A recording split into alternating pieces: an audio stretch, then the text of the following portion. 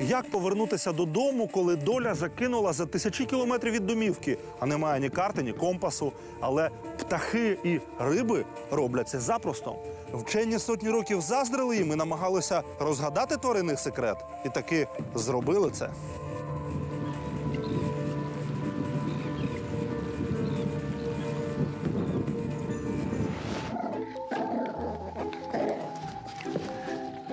Ця історія стала відома далеко за межами Америки. У 1923-му американська родина під час подорожі загубила собаку Коллі на ім'я Бобі. Знайти улюбленця, попри всі старання, не змогли. Довелося повертатися до рідного штату без нього. А за півроку сталося справжнє диво. Бобі з'явився на порозі власного дому за 4 тисячі кілометрів від місця, де загубився. Тобто в середньому пес проходив по 23 кілометри в день. Як собакам вдаються такі трюки? Перше це чудовий нюх. Вітри розносять запахи на сотні кілометрів. І достатньо псу вловити знайомий компонент, він стає на слід. Допомагають їм і звуки. Достатньо точними орієнтирами можуть стати електростанції та заводи.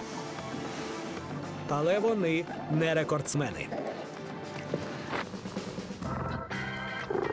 Коти повертаються додому значно частіше. Зоологи в США навіть проводили експерименти.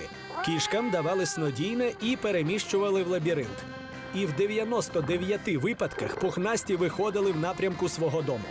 Вчені з'ясували, мурки мають незвичайну чутливість до магнітного поля землі, що дозволяє їм точно знаходити дорогу. Усе завдяки часточкам заліза у складі тканин тварини, які формують внутрішній компас.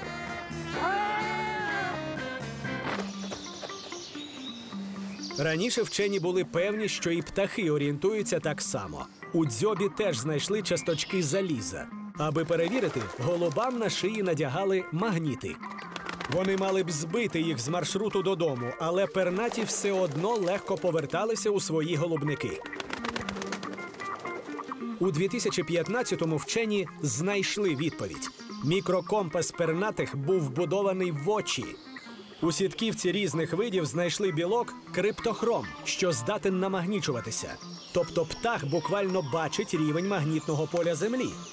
Тепер вчені перевіряють, чи не цей самий білок допомагає орієнтуватися метеликам та черепахам.